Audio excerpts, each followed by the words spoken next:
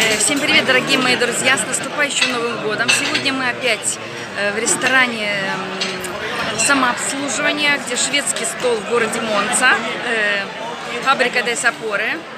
Вот. Сегодня огромное количество людей. Вот, сейчас я сниму, что я взяла покушать. И привет хейтерам, кто в прошлый раз сказал, что здесь абсолютно плохое обслуживание, даже хуже, чем